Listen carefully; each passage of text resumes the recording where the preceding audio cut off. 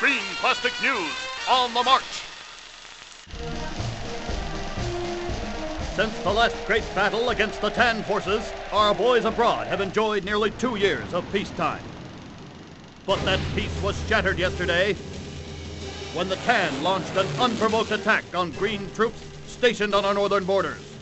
The battle spread to the air and to the sea, including our new submarine front.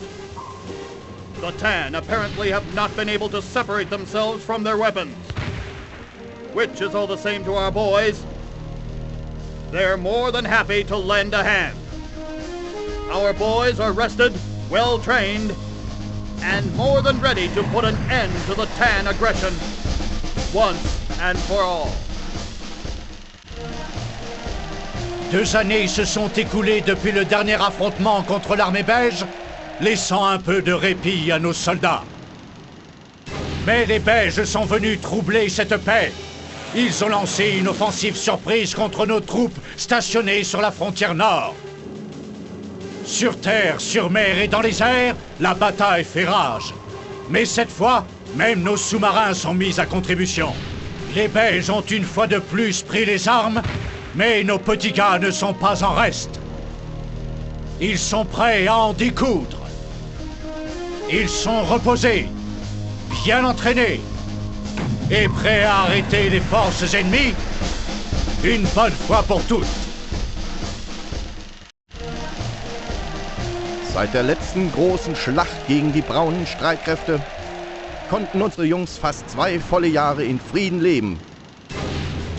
Doch gestern wurde dieser Friede gebrochen, als die Braunen einen überraschenden Angriff auf die an der Nordgrenze stationierten grünen Truppen starteten.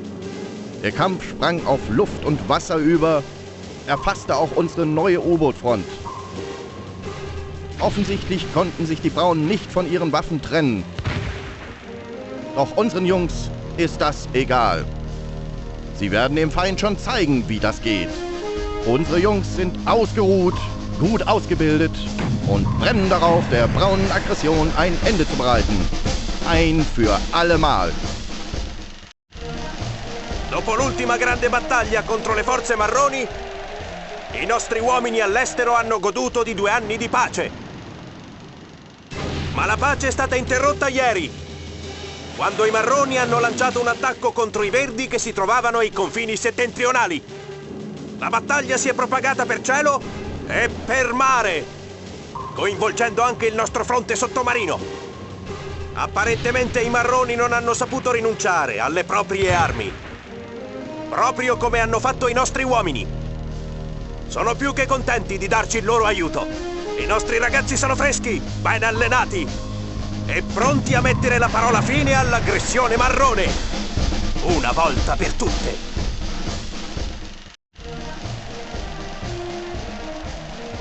Desde la última gran batalla contra las fuerzas marrones, nuestros chicos en el exterior han disfrutado de casi dos años de paz.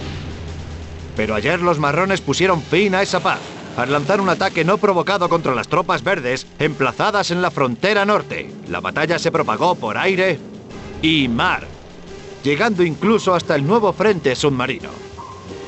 Parece que los marrones no han podido despegarse de sus armas. Aunque eso a nuestros chicos les da igual. Están más encantados de echar una mano. Se encuentran descansados, bien entrenados y más que dispuestos a detener este ataque de los marrones. De una vez por todas.